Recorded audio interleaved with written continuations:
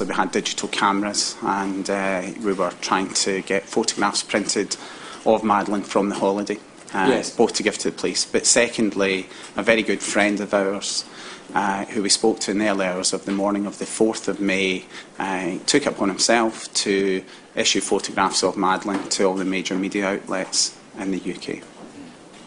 Within a very short space of time, the British press and perhaps the international press had descended on Praia da Luz, is that correct? It is. And you had to make a decision as to whether to interact with them and if so on what basis. Yeah. And what decision did you, you make and why? Well, the first thing to say, it was incredibly daunting. Uh, we had been away all day. It was also apparent to us, uh, whilst we were in the police station in Portimao in the Algarve, that there was already uh, fairly extensive coverage, uh, particularly on Sky News, which was running in the police station, somewhat bizarrely. And um, when we were driving back towards the apartment, it was in the evening, and we could literally see tens, if not hundreds, of journalists outside the apartment and uh, satellite vans, etc. Large number of cameras. And there was two things going through my head: is what they're going to be saying, uh, and we've seen, I think, over many years, uh, privacy being invaded and what stories could be published. But ultimately, um, possibly because we've seen the same thing being done in the UK, I thought it was an opportunity to issue an appeal. I was given no guidance one way or another whether to do that. I knew there could be a, a very heavy downside to interacting, but I made the decision at the time, uh, with information I had, that it would probably be in the best interests of the search for our daughter, and decided to interact. Yes. And you say in your statement, paragraph 15, that in the initial stages your engagement with the press worked well. Are you able to amplify that just a little bit for us, please?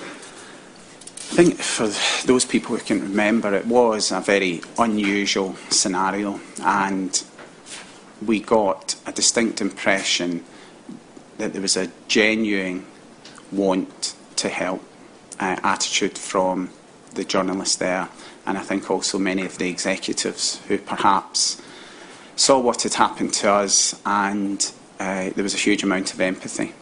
So I really did feel early on there was a desire to help. Yes. As you explain, the position changed, but the the segue perhaps into that change is uh, some evidence you give in relation to the Portuguese criminal system. Now, each culture, each nation has a slightly different criminal system, and, and, and obviously there can be no criticism ab- about that. But what you say in Portugal is that there is no permitted interaction between the law enforcement a- agencies and the press. Is, is that correct? That's correct. And um, do you have a view as to the possible drawbacks of that without necessarily being critical? But I think I it's mean, pretty I- obvious it gives rise to the possibility of leaks, doesn't it? Sure. I think uh, the system is open to abuse, is the first thing. Uh, clearly, there was a ferocious appetite, and perhaps in the United Kingdom, where the SIO uh, and the press office for the constabulary leading the investigation would have had a very clear agenda on how to work with the media, uh, what information could be disclosed, what might be helpful, and steering uh, journalists away from certain areas. Obviously, there was none of that happening, and um, there was tremendous pressure on the Portuguese authorities to interact with the media. And some of you may remember the very first time that happened, the spokesperson gave a short statement that didn't really say anything, was asked a number of questions, and followed every single one of them with, I can't give you any details because of judicial secrecy. Yes. So there was a huge appetite, and uh, we quickly realised uh, that there was a tremendous amount of speculation um, in the coverage, both in the newspapers and also you had uh, 24-hour news channels there constantly, and uh, we found that to be unhelpful. In terms of the conduit type of information, is, is this correct that whatever the strict legal position in Portugal, information was being leaked by the Portuguese police to the Portuguese press? That's stage one. then having been leaked to the Portuguese press, the British press then picked up on that self-same information. That's stage two. Is Well, that an accurate I cannot tell you for certain that it was the Portuguese police who were leaking information, but for anyone who followed the headlines in July, August, and September 2007, I think it would be a perfectly reasonable assumption to make that elements of the inquiry were speaking to the Portuguese police. I do not know if they were speak sorry uh, Portuguese press. I do not know whether they were speaking directly to the British media, but what we clearly saw were snippets of information which the as far as I was concerned, the British media could not tell whether it was true or not, which was then reported, often exaggerated and blown up into many tens, in fact hundreds of front page headlines. So the, the British press did not have the means of verifying the information, but your complaint is, is that the information was distorted and magnified. Have I got it right? I think I'm complaining on all of the grounds that they didn't know the source, didn't know whether it was accurate, mm-hmm. it was exaggerated and often downright untruthful, and often, I believe, on occasion was made up. We're, we're, we're going to cover the detail of that in, in a moment, Dr. McCann. Thr- Throughout the summer of 2007, um, the interest of the British press uh, was retained in um, the story, wasn't it? They were constantly there in Praia da Luz. Right? Yes, it did surprise us. Um, obviously, after the initial period, and I can understand that uh, what we ended up doing by having an international campaign was unprecedented. But we did send a very clear signal uh, as the attention focused more and more on Kate and myself that the focus should be on Madeleine, and we fully expected around mid June for the British media to, to leave. Um, we decided we had to stay in Portugal, to be close to Madeleine, to be close to the investigation, and it certainly didn't feel capable of leaving at that point. Uh, so it did surprise us that there was so much ongoing uh, interest when there really wasn't very much happening. In terms of the, advice you were getting or were not getting, going to put to one side the issue of the PCC into a later sequence of new evidence, but you tell us in your witness statement that um, there, there, were, there were two resources available to you. Paragraph 21, first of all, someone from Bell Pottinger who gave you assistance. Just tell us a little bit about that, please, and the value that person was able to provide to Yeah, you. so Alex Woolfall, uh, who works for Bell Pottinger, was brought out uh, really to deal with the media crisis management specialist uh, on behalf of Mark Warner. And at that point, um, he was leading the engagement uh, with the media who were present in Praia da Luz, and uh, he was very helpful. He just gave us some simple tips, which we have tried to stick to, and that was um, if you interact, um, what's your objective? Should be your question you ask yourself, and how is it going to help? And obviously, our objective is to find Madeleine, and that is something that we have tried to apply when we interact with the media. Today is one of the exceptions where it is not the primary purpose of our engagement. Thank you. And you also mentioned someone called Clarence Mitchell, who was seconded to the FCO as part of the media Yeah. liaison in Praia da Luz, and you fairly say that person's help was invaluable. Uh, is anything that you would wish to add in relation to the assistance that person gave you? I think um, I think at times we've been criticised for having somebody to deal with uh, the media, but uh, the volume of requests was incredible, and uh, both nationally and internationally. And it was almost, uh, well, I don't know how Clarence managed it in May and early June 2007, but it was a full time job just dealing with those requests. And it's been very important. As I said, we have uh, no prior uh, media experience, but in terms of just shielding us from the, the inquiries which were constant. Gave us a little bit of protection, really. Um, and you know, obviously, we were working very hard behind the scenes, um, and let us spend some time with our family as well. In paragraph 24 of your statement, Dr. McCann, you deal with the argument or the suggestion. Well, here you are dealing with the press, and then in parenthesis, on your own terms. That almost uh, allows the press um, open season to deal with you on their terms. Um, maybe I'm slightly over exaggerating the point, but, but in, your, in your own words, please, what, what, what is your view about that?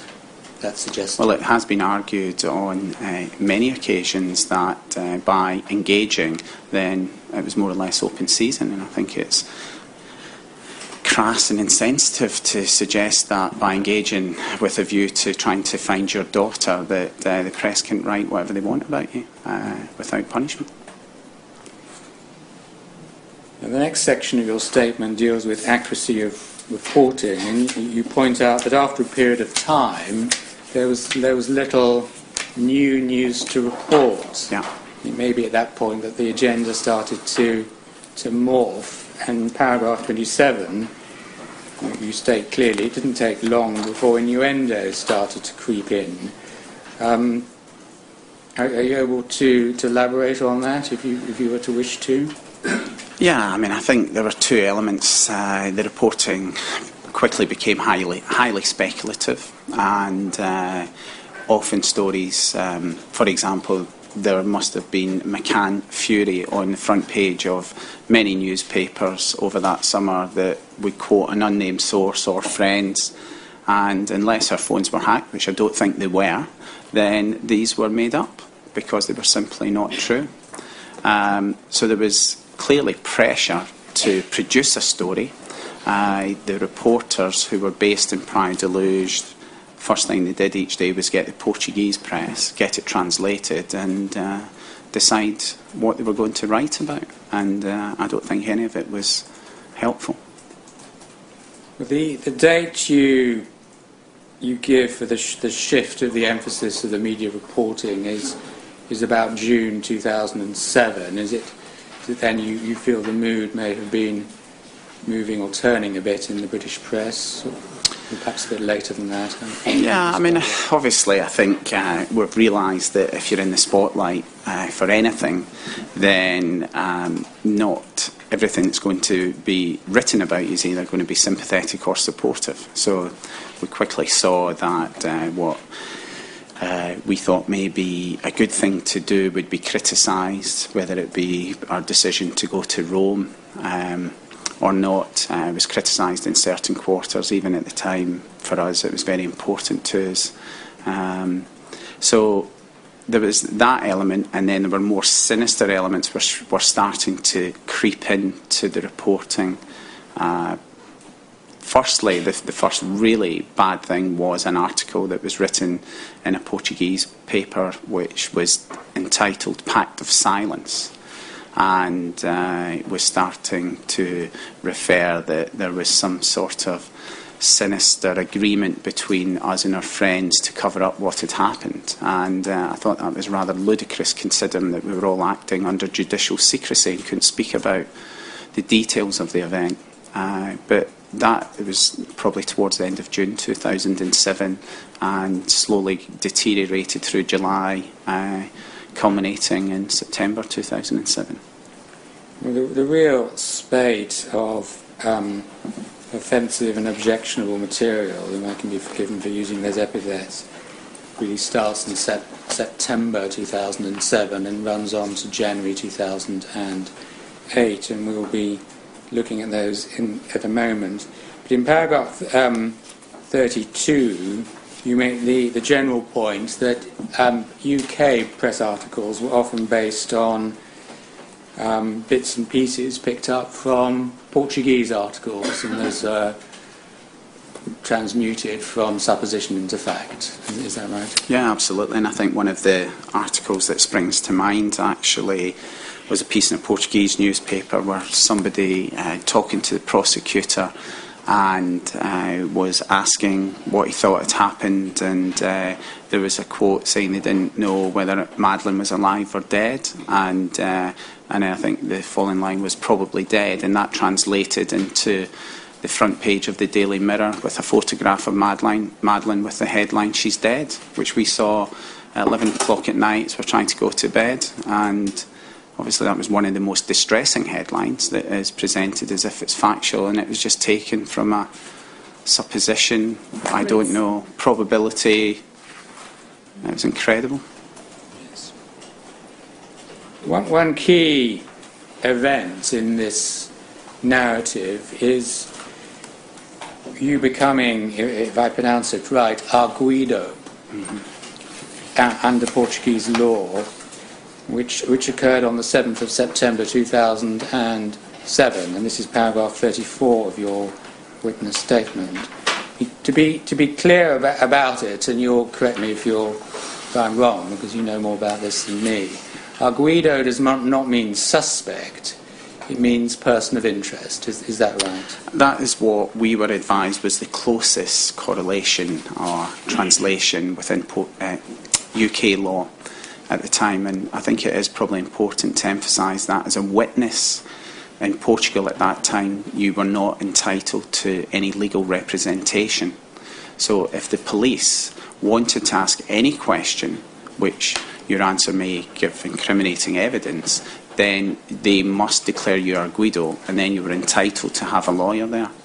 And in many ways, you could argue that all parents of a missing child, certainly those who would be the last mm. to have seen them, could have to answer questions like that. So the being labelled Arguido was not necessarily such a bad thing. However, I will acknowledge that there were leaks by elements of the investigation team which clearly were trying to portray that there was strong evidence that Madeleine was dead and that we were involved. Well, there may be there are two points here. The first point is the obvious one that needs to be stated.